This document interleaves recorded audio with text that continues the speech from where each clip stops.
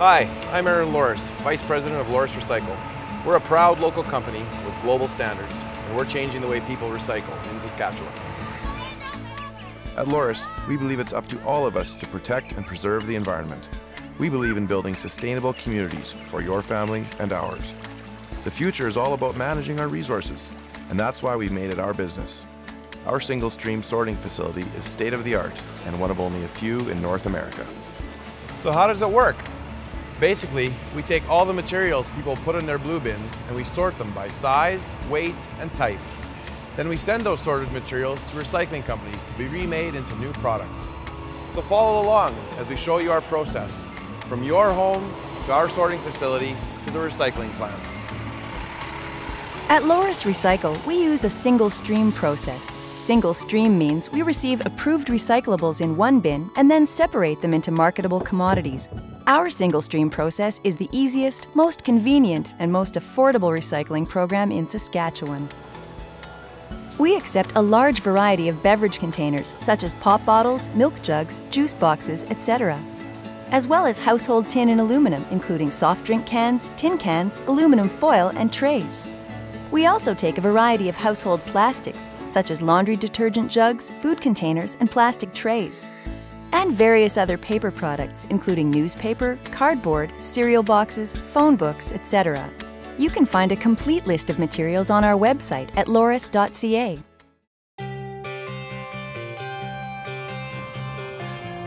We pick up recycling from blue bins at our customers' homes and businesses with our signature red trucks and bring it to our provincial sorting facility in Saskatoon. From the time recyclable materials enter our facility, they move along a path of conveyor belts where machines sort material and people provide quality control. This is how it works. First, the truck unloads all the materials collected onto the tipping floor. Then, a front end loader puts the materials into a large hopper with a moving floor. The floor feeds the recycling onto the conveyor belt and into our sorting line. The sorting process has begun. To sort the materials, we use the physical characteristics of the items, their size, weight, and shape, to help us. The process uses both state of the art equipment and a dedicated team of highly trained people. As the materials move along the conveyor belt, they are inspected by Loraas employees. The first step is to remove items that are difficult to handle. Our people are highly skilled, and they have to be. The conveyor belt moves at speeds of up to 114 meters per minute. Every person on our line is able to remove at least 60 items per minute. That's less than one second per item. At the same time, our employees remove plastic bags so they can be sucked up by a powerful vacuum. They're baled and then shipped off for recycling. The remaining materials are streamed over a set of star-shaped wheels designed to separate out the cardboard. This can be done because cardboard is light and large enough, so it floats on top.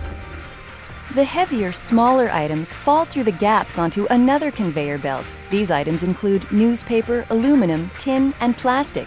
After the cardboard has been removed, it's then passed to a quality control station on its way to be baled. A second set of star wheels separates out the paper by floating it over the top of the rest of the items. Most of the paper is separated by the stars and channeled to a quality control station. Any remaining paper is captured by a high-powered suction belt called a paper magnet and diverted to a quality control station. The heavier materials, such as tin cans and plastic containers, fall to a conveyor below the paper magnet and continue on their processing journey. After quality control, the paper is dropped onto the facility's main floor. A front-end loader picks it up and moves it onto the baler conveyor belt.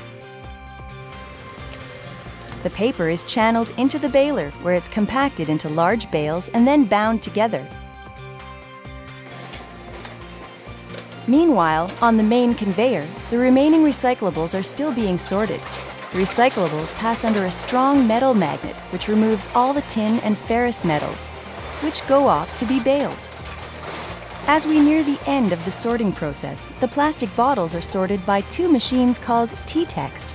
The T-Tex use infrared technology to identify types of plastic. The first machine finds number 3 to 7 plastics and uses puffs of air to separate them from the stream and sort them into bins. The second machine sorts number 1 clear plastic and aluminum products. At the end of the line, the materials have been separated and baled. Loraas ships these bales to different manufacturers to be remade into new products. This last conveyor belt shows what's left over from all the recyclables these materials are too small to capture mechanically, and as you can see, there isn't much. Loraas is able to capture and recycle an average of 98% of all the material that comes through our doors. Here's how it all adds up. By our calculations, one bale of material is equal to about 50 blue bins. On an average pickup day, we bring in around 7,200 bins. That's equal to 130 bales. When we ship the materials to recycling plants, we can fit about 2,000 households worth of recyclables onto one shipping trailer. One loaded trailer weighs 45,000 pounds. That's as much as three African elephants. Every week, we ship thousands of tons of baled recyclables for remanufacture into new products. When you put all these numbers together, you can see we're doing our part to create a more sustainable world. Our single stream system involves cutting edge technology and highly trained people.